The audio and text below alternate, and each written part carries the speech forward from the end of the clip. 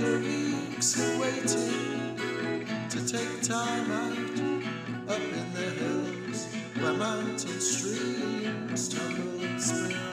And after all the preparation, youthful anticipation, now we finally see a place of holy mystery to me.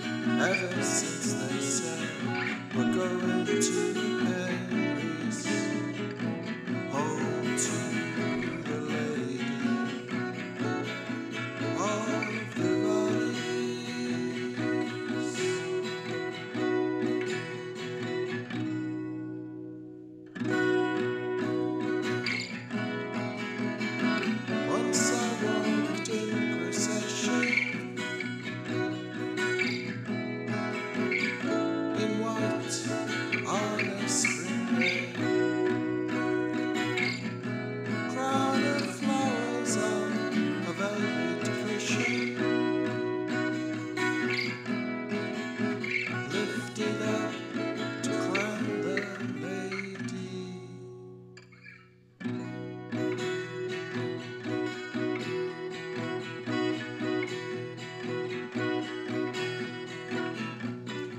snapshot memories of that childhood pilgrimage with our bags of sherbet on a crowded bus, climbing up through steep streets that went on forever, finally to a hilltop where a monastery once stood.